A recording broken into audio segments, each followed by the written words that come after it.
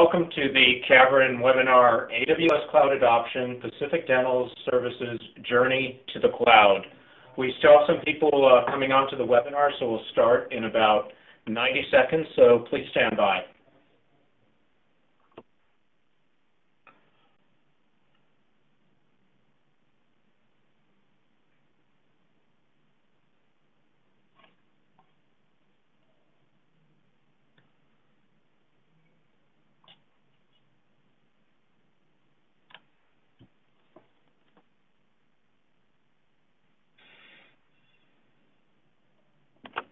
Welcome to the Cavirin webinar, AWS Cloud Adoption, Pacific Dental Services Journey to the Cloud. We still have people coming online, so we'll start in about 30 seconds or so.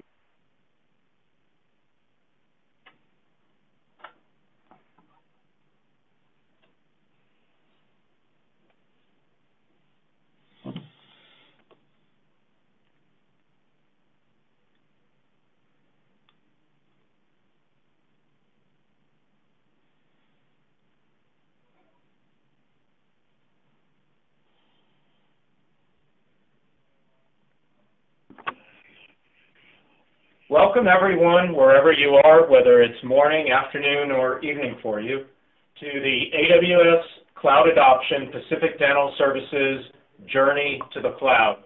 We have some really great material for you today, uh, presented first uh, by AWS uh, architect that I'll introduce, then uh, Pacific Dental Cloud Migration, and then followed by Cavirin Cyber Posture Intelligence, how we actually uh, implement what Pacific Dental is using as a service. Uh, our three presenters include Thomas Robinson, Solution Architect at AWS, a lot of operational experience, uh, followed by Nemi George, who is responsible for IT operations and security at Pacific Dental Services. Uh, so for, uh, hi Thomas, good morning. Good morning. And Nemi, good morning. Good morning. And then last will be Basham Anat, our head of uh, product management over at uh, Cavirin. Good morning, uh, Basham. Okay, so without uh, further ado, uh, we'll turn it over to uh, Thomas. Hi, Dave. Uh, thanks for the intro. Hello, everyone. Uh, my name is Thomas Robinson. I'm a partner solutions architect at AWS. Uh, I work with our partners in how they can help our customers adopt or migrate to using cloud services. Uh, before Nemi shares his cloud story, I want to help you understand how you can use AWS services while maintaining a compliant security posture. Managing security is a universal topic for companies moving to the cloud, and we'll cover what you'll need to do from a process as well as a technical perspective to make security a feature, not a hindrance to your cloud adoption. When an organization begins looking at the cloud, I recommend they look at the Cloud Adoption Framework first. The Cloud Adoption Framework organizes guidance into six areas of focus called perspectives. Each perspective covers distinct responsibilities by different stakeholders within your organization. In general, the business, people, and governance perspectives focus on business capabilities, while platform, security, and operations perspectives focus on technical capabilities. Today I'm going to focus on the security perspective, how AWS provides a secure environment, your responsibilities, and how AWS services can be used directly or through your partners to help you build a compliant infrastructure. The security perspective of the Cloud Adoption Framework has four components. Four different controls, starting with directive controls that establish governance, risk, and compliance models the environment will operate in preventative controls, protecting your workloads and mitigating threats and vulnerabilities, detective controls to provide visibility and transparency over your operations, and then responsive controls driving remediation of any deviations found in the detective controls. I'll touch on each of these throughout my examples. First, to help understand what your compliance model looks like, you should understand what your responsibilities are in the cloud. We use something called the shared responsibility model to define what security features AWS manages for our customers, what our customers are responsible for by implementing into their designs, leveraging an AWS service, or using a partner solution. Taking a look at the shared responsibility model, you can see that AWS manages the security of our data centers, the physical and logical separation of compute, storage, and network resources, as well as providing a diverse set of regions and availability zones to ensure our services are resilient. Our customers are responsible for the security of their applications within the cloud. This means ensuring that encryption is enabled where appropriate, operating systems are hardened, network rules are configured securely, user identity and access is properly issued, and the applications themselves uh, are secure and tested. Before we get into fulfilling your responsibilities, you may be curious how AWS attests to our responsibilities and how you can provide that evidence to your auditors. AWS has launched a service which is now available in your management console called AWS Artifact.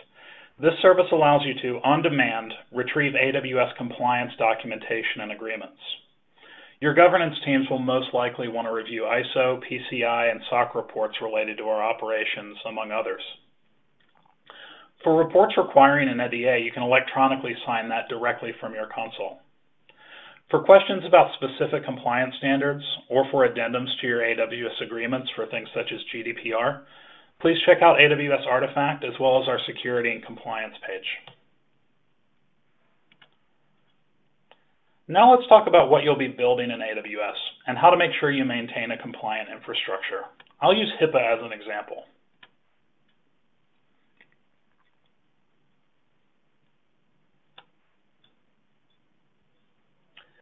If you're working in healthcare, you're likely familiar with the Business Associates Agreement, and that's available from AWS and covers specific AWS services which are eligible to store protected health information.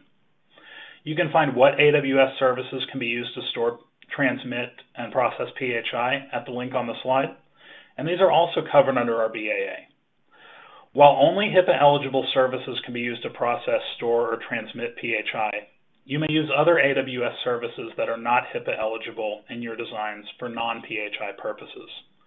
For example, you may want to store logs from your environment in CloudWatch Logs, which is not a HIPAA-eligible service that can be used to store logs not containing PHI. You can review, accept, and track the status of your BAA through the AWS Artifact service.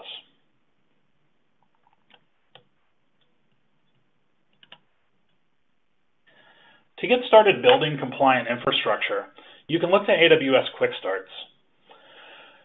Currently, we have Quick Starts for HIPAA, NIST, and PCI control.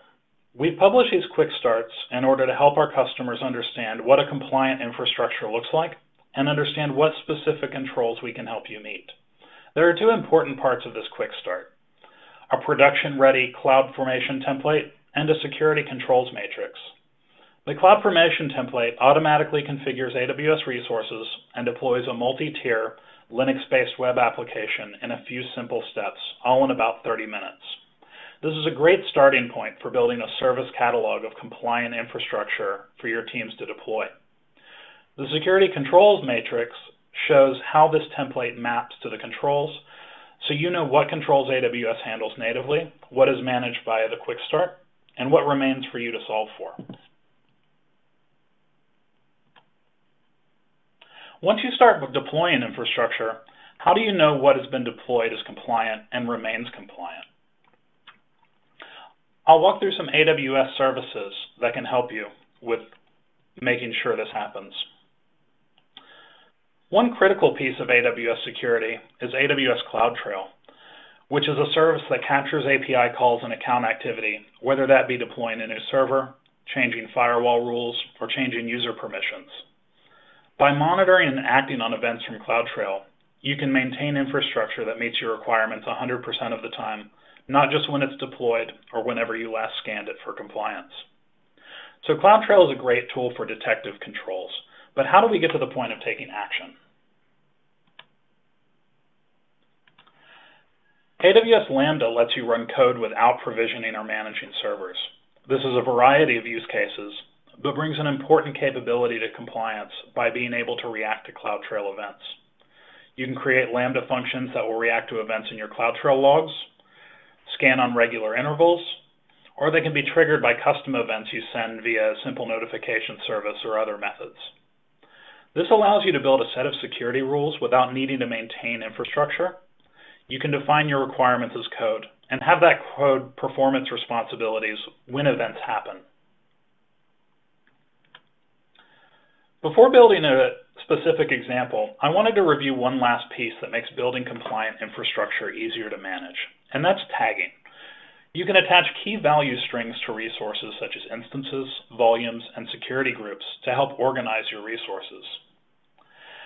This helps for reporting purposes, as well as cost optimization, and it also makes applying different security standards to different environments easy. Tags can help you understand what's happened in your resources when they change, but can also be used in preventative controls as well. For the former, you can tag resources as development or production and react differently to changes on those types of resources. For preventative, you can more strictly control access to production resources by setting policies in IAM, preventing users from manually changing production resources that they shouldn't. So let's take all of these services and build some compliance rules around it. One example I like is the creation of firewall rules. Understanding what resources are allowed to communicate with each other over the network is a common target for all compliance programs. AWS provides security groups, network access control lists, and route tables in order to help you control how your resources communicate, and it's important to monitor these configurations. When an engineer adds a rule to a security group, a record like what you see here will appear in your CloudTrail log. It has important information like the account, what region, who performed the change, and the IP addresses they allowed. This information can be passed to a Lambda function where it can analyze what changed in the rule and see if that matches your compliance requirements. In this case, you can see that the rule was changed to allow access to all IP addresses, which is likely something you don't want in a production instance.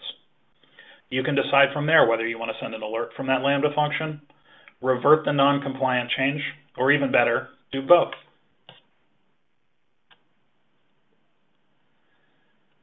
Some other examples are tagging data volumes which have PHI or other sensitive data, so you can take action if they're launched as unencrypted volumes. Detecting when user permissions are changed and ensuring they aren't overly permissive is another. There's a lot to consider when building a compliant infrastructure, whether that be on-premise or in the cloud. Luckily, you're not the only one solving these challenges, and we have great partners like Cavirin who work with these services to build offerings that help you meet those requirements. If you're thinking about building compliant workloads in the cloud, look for a partner who has a track record of helping customers maintain their compliance. Now I'm going to hand it over to Nemi George to talk about Pacific Dental Services and their journey to the cloud in a HIPAA-regulated environment.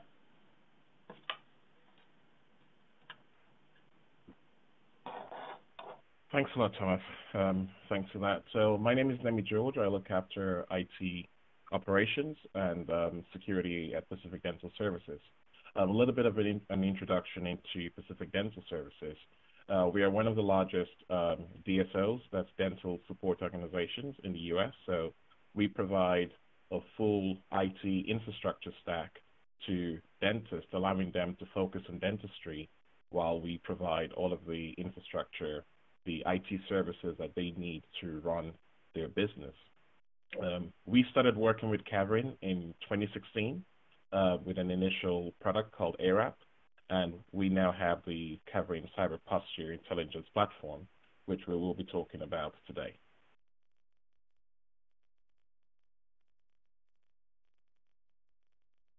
So everyone talks about migrating to the cloud, and for some businesses, uh, there's some um, resistance to, to take that journey to migrate, um, especially in heavily regulated environments such as um, such as healthcare.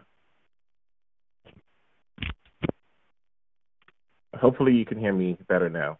So there's some in, um, environments where um, migrating to the cloud is sometimes um, pushed back on, such as heavily regulated uh, environments, as, as we work in healthcare. However, uh, we made a strategic decision to move to the cloud um, about nine months ago.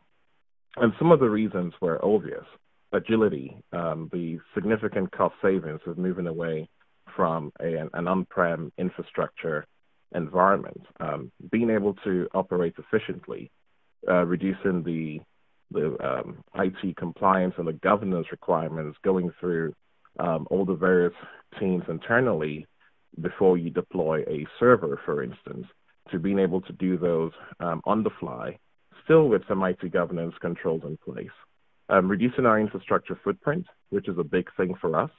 Um, we support dentists, and we, over time, um, started building out a significantly large and complex infrastructure footprint.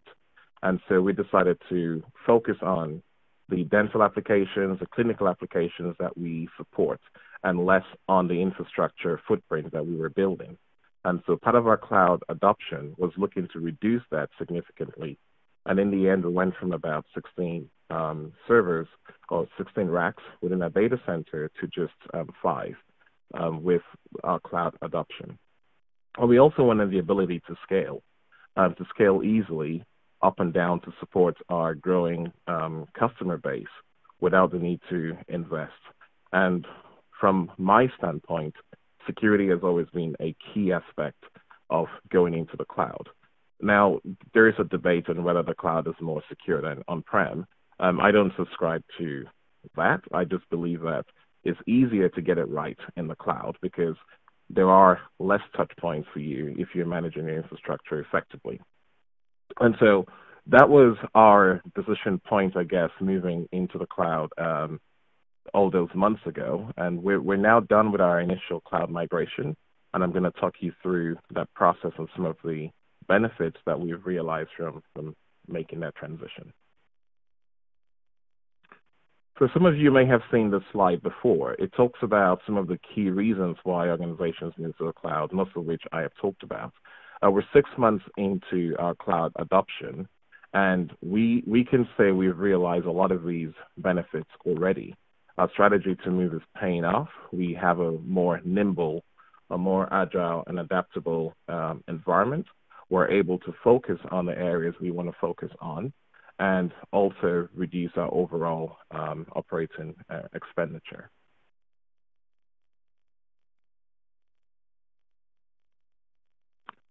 So I've talked about all the a lot of the advantages of why we have made a decision to go to the cloud, but I just want to raise a few areas that you need to consider if you're looking to make this decision yourself.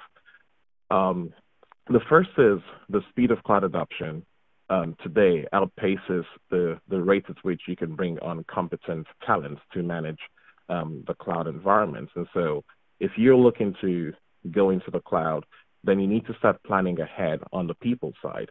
You may be using your existing teams and make sure they have the relevant certification. They go through the AWS training and certification program to ensure that they're ready um, to scale along with you as you take on your cloud journey. Security is another big area. Um, there's so many aspects of traditional on-prem security that you're able to translate into the cloud. What I have done here is simply highlight a few areas that I feel are most important.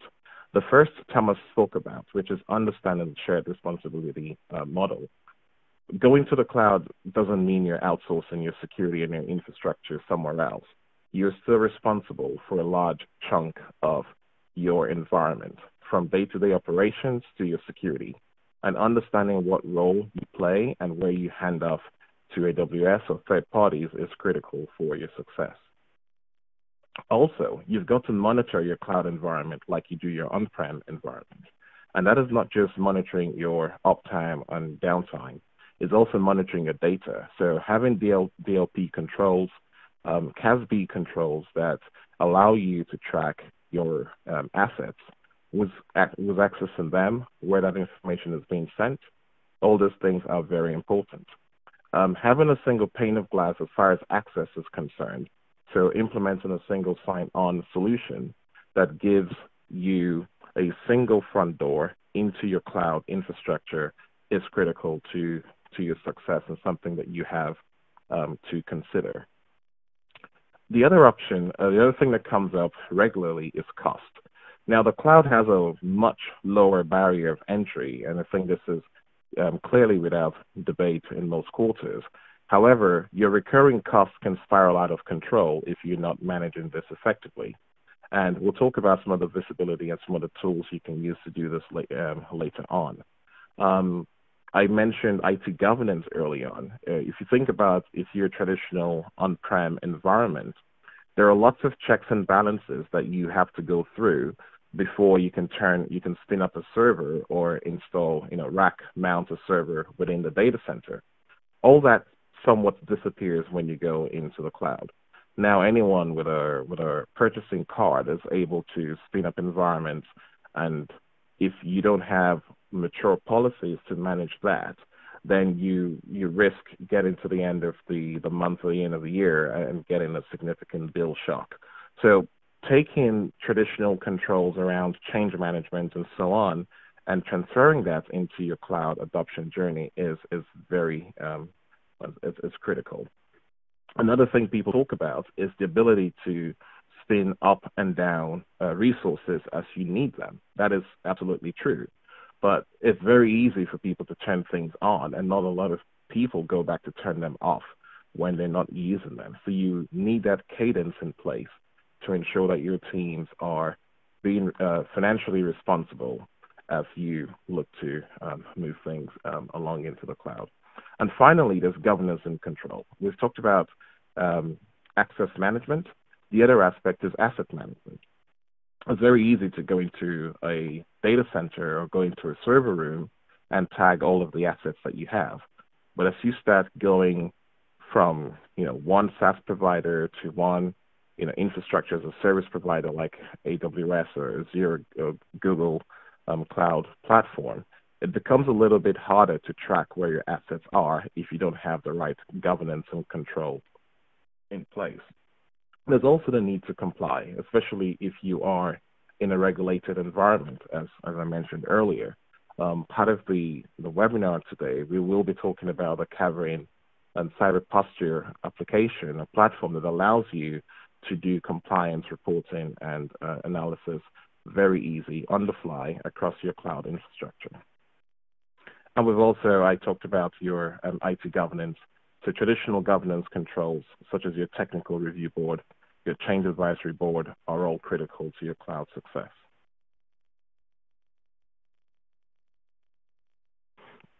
So here at Pacific Dental Services, we started small.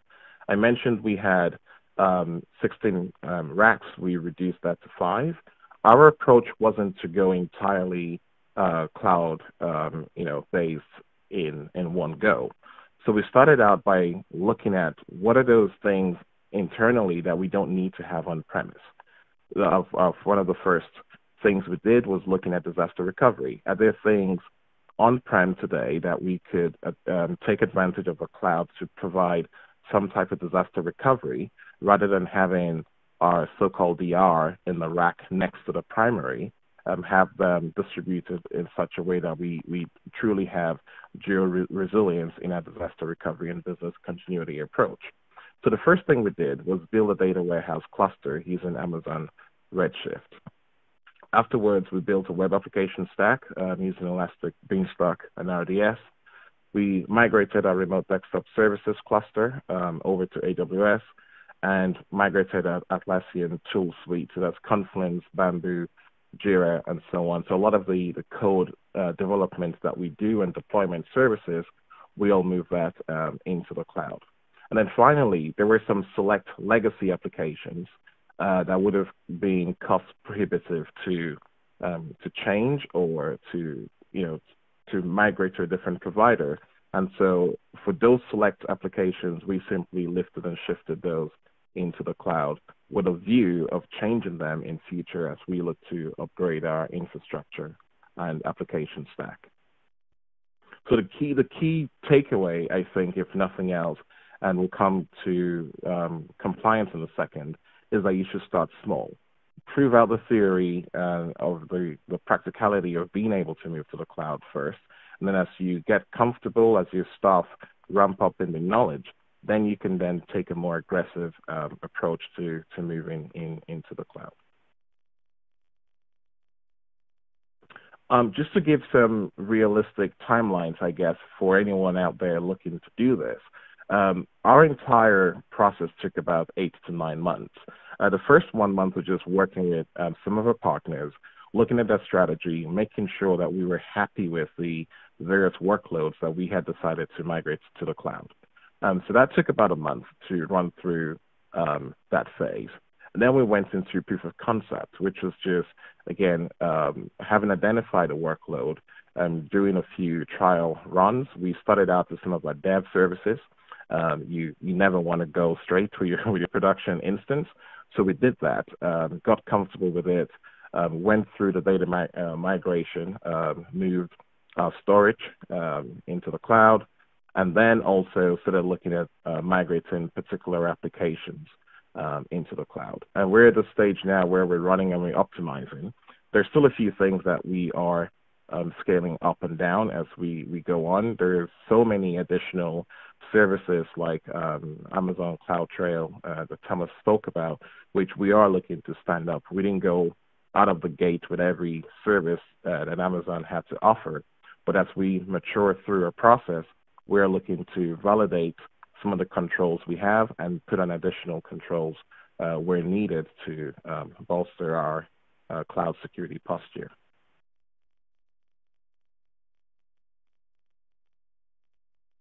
So just running through some best practice um, tips here. Um, we, I talked about a shared responsibility model. That is very, very important as that dictates what you do. You have a very clear sense of your responsibility and you can hold your team to account. Um, and you can um, also um, um hold Amazon to account on what their responsibilities are to you. The next is making sure you have clear visibility of your cloud workloads. You've got to look at your entire cloud environment like you would your on-premise um, environment. And if you cannot see it, if you can't measure it, then there's no way you can manage it. Identity and access management is key.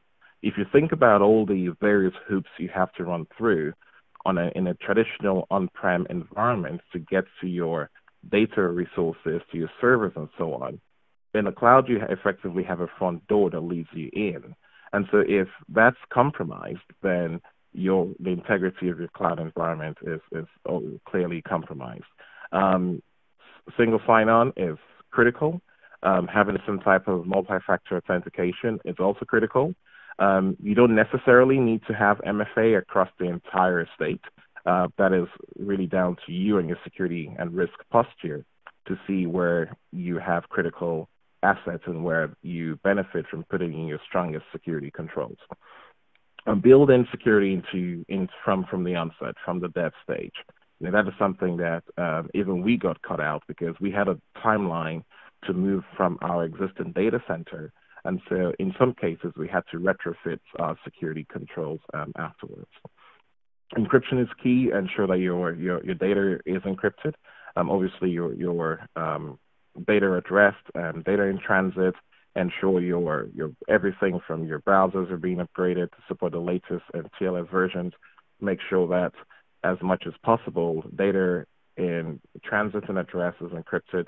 Um, you can use VPNs. Those people would have a dedicated uh, VPN to ensure that you have um, that your your transport layer at least has that level of security uh, assured. And finally, understanding your cloud risk posture. Um, if you think again about the um, correlating this to your on-prem environment, you run penetration tests, you run vulnerability assessments. you're obviously not able to run a full pen test within uh, the AWS environment. And so, what you can do to complement that is make sure that you have some ability to see how vulnerable your application, your infrastructure is. And that's is where the Cavirin um, um, solution comes in because it allows you continuous reporting, a continuous visibility, continuous risk assessment of your environment. And you can tie that into some of the other monitoring tools and application platforms that you have in place. Um, so you're able to take action and you have, you know, um, actionable intel on your cloud um, cloud environment. So I'm going to hand um, over to the Cavirin team in just a minute to talk through their solution, but just a high level of kind of what we're using it for. So one, it integrates with CloudTrail. Um, if you remember a few slides ago, Thomas showed you the um, CloudTrail log. Now, some people are fine reading that, and some people can go through pages and pages of, you know, um, of log information and can get out the relevant information. But for the for the average um, security analyst or um, or sysadmin, if they don't have the, the skill set to do that or don't have the ability to do that at scale, then you want to be able to feed those logs into something that is able to analyze and give you a consolidated view so you have a single pane of glass across your entire environment. You also have the added advantage if you're running a hybrid environment of being able to deploy the same solution across your on-prem environment. So you have a true single pane of glass across your traditional on-prem sort of data center space as well as your your um, Amazon uh, or Azure, whatever um, cloud provider um, you're using, and that that's a very um, a very powerful thing. It also goes away from your traditional vulnerability assessment where you're looking at CV scores and all of that, and it gives you simple numbers, risk, and a lot of um, senior level execs understand risk, and this gives you a score between zero and 100. And so over time, you can see whether you're improving in your security health or not. And it's a very easy way to um, to measure your success and the effectiveness of the security controls that you've implemented. The second thing we get through the Cavirin uh, Visibility and Compliance uh, platform is it gives you recommendations. So it doesn't just tell you if you have um, issues. It also gives you very simple one-line instructions on how you can remediate. And you can take that, you can export that into a CSV file or an Excel file. You can have that sent over to your sysadmin or your your net uh, you know your network or DevOps teams to work on, or you can do a full one-touch remediation straight from the the platform that allows you to then take um, action and then you know continually measure your compliance to see if you have improved um, your cybersecurity posture. It also does its scans based on known security policy packs or security frameworks. In our business, we're more interested in HIPAA and HITRUST and, and, and obviously PCI and DSS. So I'm able to see my compliance based on standards without having to manually map my controls to the various standards that I have I have to comply with. And if you are, if you trans sort of transcend the um, core hands-on security role and you go into more compliance audits and attestations and certifications, this is a time, um, a, a, great time saver as you don't have to do all of that manual correlation um, um offline. You can do that um, directly within um, within the tool. You also don't require any agents. It, it will scan through your IP address range and um, it's able to get this information without the need to deploy um, agents. If you're like me and you have an agent for everything from AV to EDR to um, software license management, um, the thought of putting another agent on your endpoints that are probably running already slow isn't really something that I a decision that I take lightly. So I, I like the fact that I don't have to worry about additional agents um, to, to be deployed. It's also cloud agnostic, so it works across AWS, so that's where the bulk of our services are. But if you're a Microsoft or, a Google customer, um, that also will, will apply um, to your environments. And I've also talk, I talked about the fact that it works um, across all of the the different um, um, service providers that you you have out there. Okay, so just to wrap up here, um, some of the additional things. This is just an example, um, kind of tying all this together um, what we're able to do. Um, you have that risk posture. You're able to scan the IPs and important protocols, as I've said. And I've just put here a quick example into kind of the visibility that this gives you. So in this case, it's telling me, you know, I need to ensure SSH connections are not opening appropriately.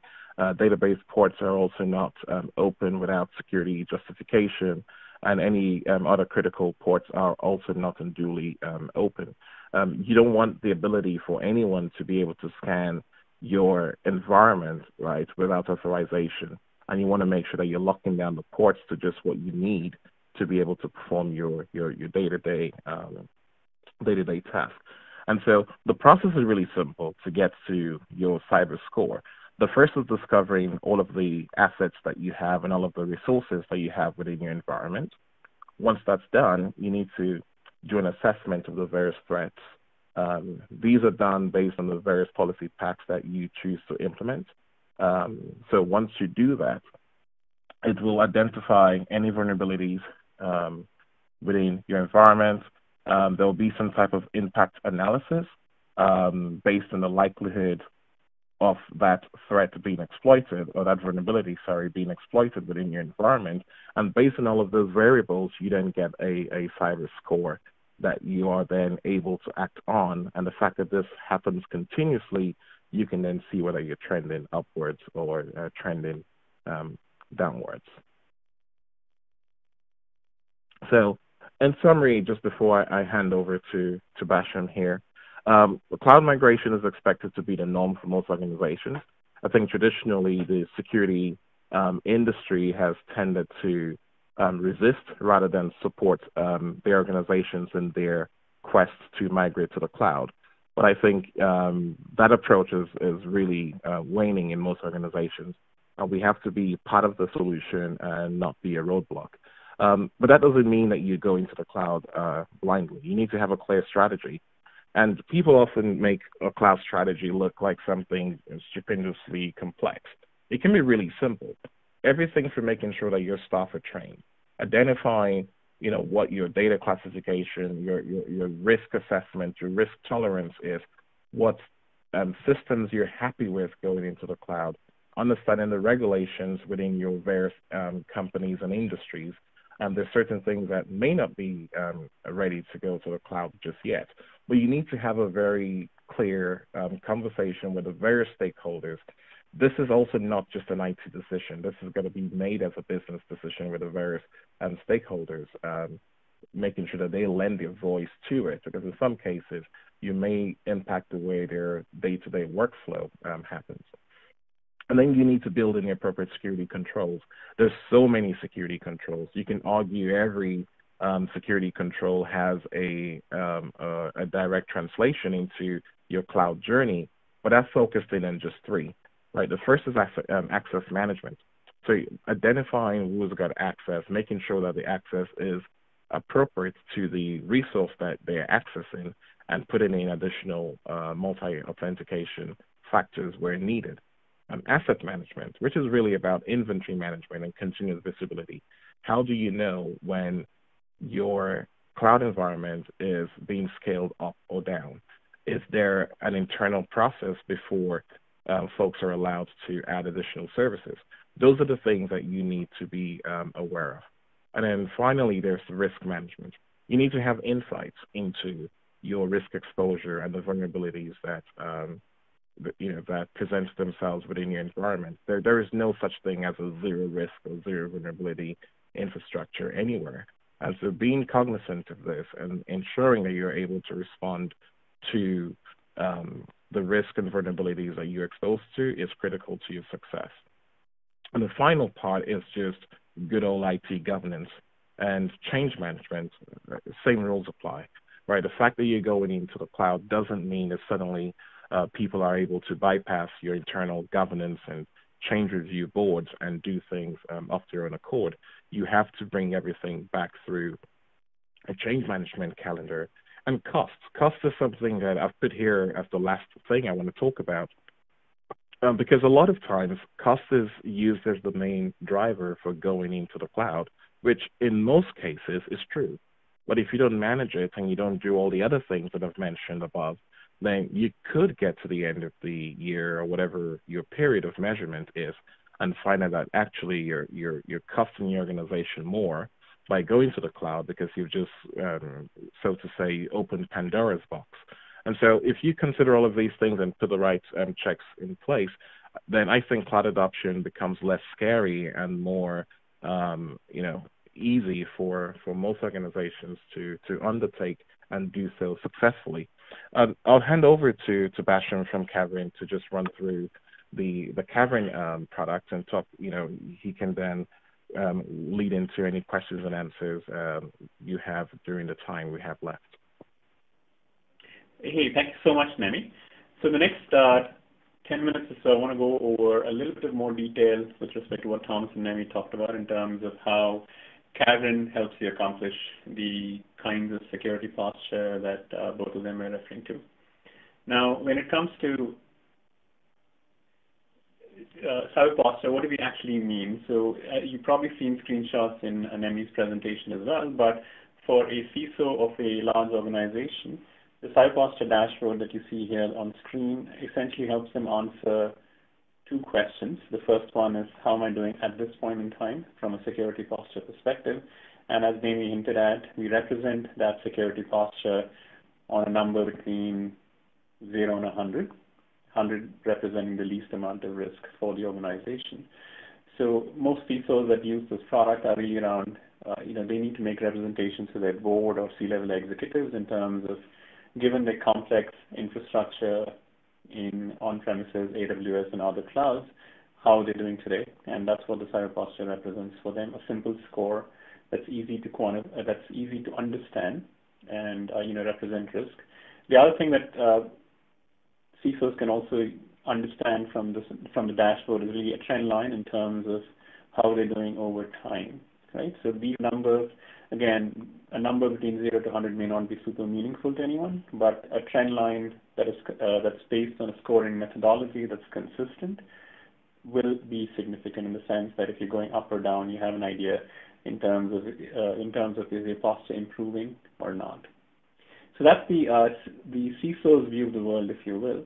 One level below the CISO, a security analyst can pinpoint where the problem areas are. So if I look at the uh, what's shown on the dashboard right now, I see that my overall posture is 33, but then the asset group that's contributing to that low score is the one that's in the second panel, and it's, it's, it happens to be a group in the AWS uh, in, in my AWS account in Japan, right? So very quickly, from the high level, the analyst can drill down and say, okay, what's going on in my AWS group in Japan? And once they do that, the set of issues uh, that they can actually remediate is shown in the panel on the right-hand side, the prioritized issues. Again, we don't expect someone to work or manage changes for hundreds and hundreds of you know, broken things. But what this approach does for you is that the scoring methodology ranks the most important things in the order of the improvement that they have on their cyber posture. So as you interact with the dashboard, an analyst can quickly see that I have problems in AWS Japan and get the list of 25 things that they can do that has the most significant impact on their AWS Japan score, which then rolls up into their company level posture, if you will. The key, again, the key idea here is that you go from a top level view of cyber posture to actionable insight and the scoring methodology and algorithm that I'll speak to in my next slide is really the underpinning for that way of approaching risk and uh, security posture. Now, how does the scoring scoring actually work? Uh, Nemi actually started talking about it at the high level. Uh, a few more building upon what he said, essentially there, this, this framework is actually inspired by the NIST cybersecurity framework. So it has a basis in terms of how security experts view uh, risk management and risk scoring, if you will. The challenge that we have seen over the years is that there is no quantification. No one has done a quantification of something like the NIST cybersecurity framework. So although it's a great way to organize your thoughts, ultimately for a CISO or someone like me to make decisions on that framework, they need quantification and hence the scoring approach. And as Nemi mentioned, essentially six, six layers, if you will, going from, from top to bottom. The first part is really around discovering your resources wherever they are. Cavirin's approach tends to be in agentless architecture. So whether your, uh, whether your assets are in AWS or on-premises or Docker containers or what have you, we discover them all without an agent. And uh, in addition, as part of that analysis, you can actually assign a criticality to those resources as well, which might be based on confidentiality, integrity, and um, availability types of analysis for your resources. Right? So that's the first level. The second level is really around threat, threat intelligence, if you will. Now, a threat is essentially uh, either either a person uh, or a state actor or someone that wants to do harm to your business. And the idea here is that you can actually uh, discover the most important threats to your business from these external feeds, if you will, that you see listed here. Now, once you have an understanding of those, then the next step in the process involves identifying where your weaknesses are. Now, when it comes to weaknesses, what Cavirin focuses on is, again, infrastructure weaknesses, but then they're more in two broad areas. The first is around configuration management issues, the examples that Thomas was giving you with respect to ports being left open in your security groups is a great example of that. And then vulnerabilities is where we would put uh, things like patches that are missing, uh, outbreaks of uh, you know new new vulnerabilities at the infrastructure level, and so on. Now, those are your weaknesses. Your controls are basically what you can actually check against, and that's really where the, the, the so-called policy packs that we offer are really around technical controls that you can assess uh, known vulnerabilities or known configuration flaws against. Right? So those are step three and four. And then we have a way of actually estimating the likelihood based on a bunch of approaches. Uh, but generally, the kind of things that you can also think about are, you know, historical trends around what you you've been vulnerable to in the past.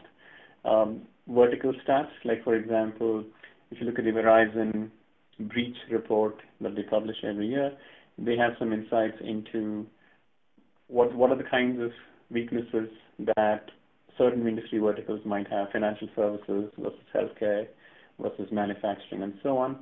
Patching cadence could be another indicator with respect to likelihood and so on. So we again piece these things together. And then the, uh, the impact analysis, again, as I said before, it's factored in as part of your resource visibility itself.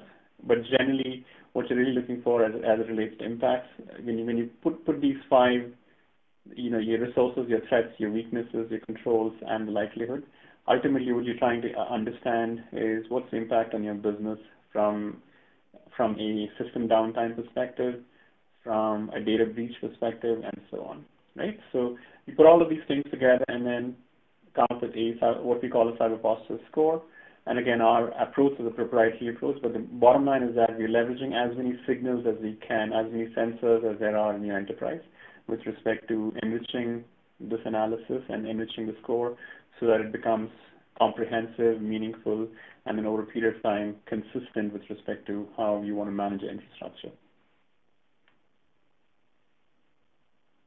Now, how, how do you actually deploy Cavirin?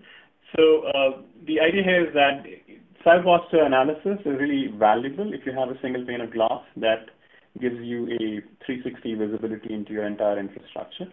And given that many of our customers have like multiple approaches, so again, the reality is almost every enterprise is a hybrid enterprise, which means they have one leg in on-premises data centers, whether it's because of uh, you know dev test type environments or legacy infrastructure that they have on-prem, and they have one or more clouds, including AWS. Now, the idea here is that in order for you to enable a single pane of glass, you deploy Cavirin, let's say in this example, in one subnet within AWS, and then establish connectivity between the Cavirin subnet and, and the, the resources wherever they might be. The kinds of AWS services that you can use for connectivity from the AWS cloud into on-premises are listed here. Like, for example, you can set up VPN connectivity or many large enterprises also use like something called Direct Connect, which is a service that connects legacy data centers or on-premises data centers into AWS with, with a dedicated connection. So all of those approaches. And then in our roadmap, we're also looking for, you know, proxies and, you know, Bastion host support as well to establish connectivity. The bottom line here is that all of these approaches which are really enabling connectivity from the Cavirin system, because it's an agentless approach, to wherever your resources might be residing, and then doing the kinds of analytics that you saw on the previous slide uh, to, to, to build up the score in a comprehensive way.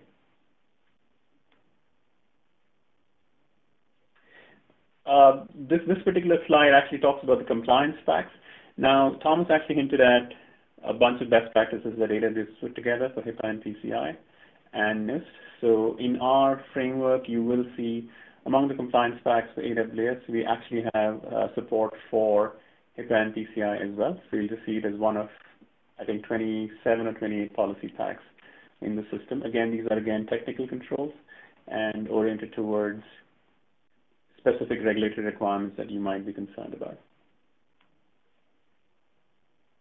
A quick word on uh, monitoring. Again, I want to use an example that Thomas was using with respect to security groups in particular. Now, the way monitoring works in uh, Cavirin, the reason you monitor anything is really to figure out, is there something going on in real time in your infrastructure that I need to pay attention to? So an example of uh, what Thomas mentioned is someone either accidentally or deliberately left a security group, a port in a security group open. Now, the way Cavirin works is that we detect that through CloudTrail. So again, this is something that you have to establish within your AWS account. And from CloudTrail, we also have CloudWatch alarms that look for specific conditions that triggers on top of your CloudTrail events. And then once, and then there is a Cavirin Lambda function, which is actually monitoring the CloudWatch alarms itself. And that Lambda function, once it gets an alarm through CloudWatch, it actually triggers a policy assessment. So in the example of security groups, it's actually figuring out is this a good change or a bad change, right? So that's what the policy assessment is. If it is a bad change, that triggers an alert. So we publish an alert to a SNS topic, and then that gets picked up by the what we call the Cavirin control plane, which is then the way we process that particular alert and then make it part of the scoring algorithm, if you will. So that's sort of closing the loop. So the point here is you can have thousands of things going on in the infrastructure, and not all of them are really relevant to your business. Because we have controls in place that help us decide if it's a bad change or a good change, this, you know, this is what we call closing the loop from an alert to really understanding how it impacts your security posture and uh, we believe we are one of the first to actually do it in this particular fashion. Now, simply alerting you isn't adequate. Alerting and scoring obviously is a way for giving you one level of insight. What this particular slide is talking about is how do you actually remediate should something go on. So this is a second uh, workflow that again leverages a lot of AWS services under the covers. But the general idea is that Uh, as so again, we do not remediate automatically. We present the issues in a prioritized fashion. So that's step one. And then if the user chooses to remediate one, of, one or more of what we call failed policies, like in my example, if there is a security group that does need to be addressed from a posture perspective, that's what would get surfaced in the dashboard. And then from the dashboard, step one would be to create a remediation request, which was posted to an SNS topic. And then there is a Cavirin Lambda function that's running in your AWS account, which is listening for remediation requests, if you will, and takes action on, on your AWS resources, again, subject to your approval, of course.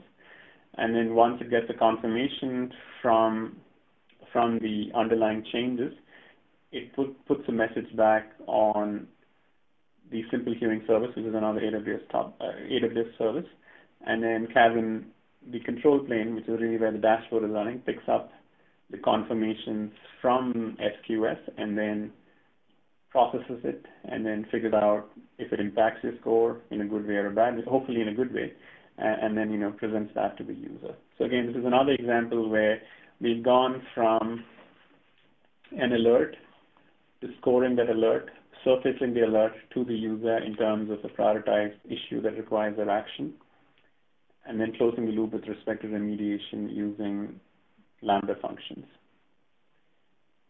So with that, I want to pause here and hand it back to Dave for any remaining questions. Okay, Basham, thank you very much.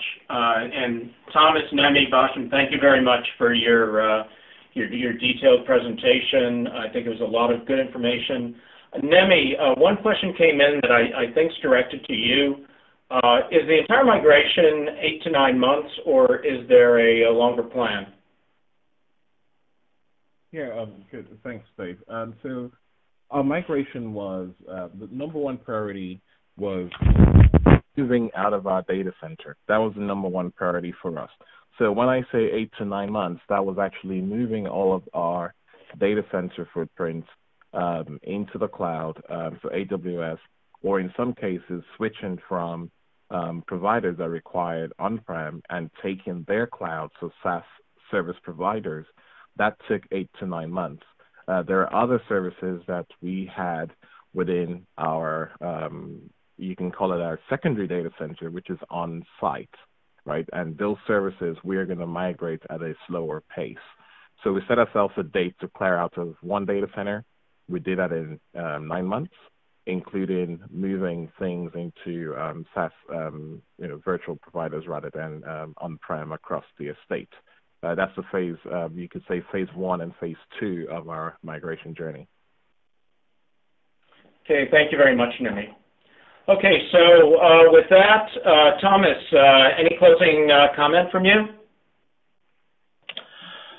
Yeah, uh, thanks everybody for joining. Uh, I'd just like to encourage everyone to uh, take a look at the materials I, I, referenced in there, and if you have any questions uh, about cloud security and how we can help you, uh, please reach out.